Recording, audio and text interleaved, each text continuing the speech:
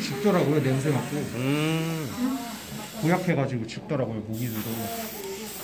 근데 그- 그런 데에 있다 보니까. 아, 물만 안 넘치면. 네, 물을 안 낮춰야 되나 다행이죠. 막 문을 다 열어놓으면 물이 넘치고 어. 물을 살짝 열어놓고 대기관점만 있으면 그렇게 충분하더라고요.